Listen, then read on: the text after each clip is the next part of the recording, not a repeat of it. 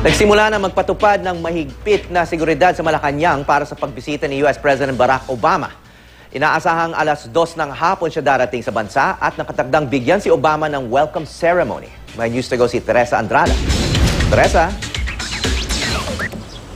Hawi, mahigpit na ang seguridad na ipinututupad sa labas ng palasyo ng Malacanang para sa inaasahang pagdating ni US President Barack Obama mamayang hapon.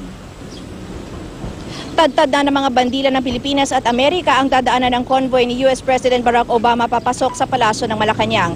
Sa kahabaan ng JP Laurel Street, tanging mga sasakyang may car pass lamang ang maaaring pumasok. Ang mga passing through vehicles ay bawal nang dumaan dito mula alas 6 ng umaga ngayong araw hanggang alas 6 ng umaga bukas. Sa gate 4 at 5 napapasukan ng mga bisita at mga miyembro ng media nakapwesto na ang mga x-ray machines.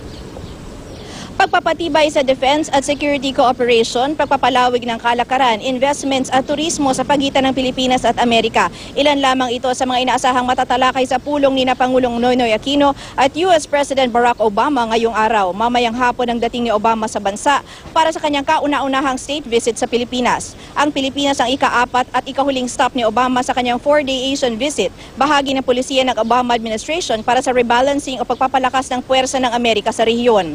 Alas dos ng hapon, inaasahang darating si Obama at kanyang delegasyon dito sa Palasyo ng Malacanang. Sa welcome ceremony, gagawaran siya ng full military honors. Ito ay susundan ng pulong ng dalawang lider at pagkatapos ay magkakaroon naman ng joint press conference. Mamayang gabi, isang state dinner ang inihanda para kay Obama at kanyang delegasyon.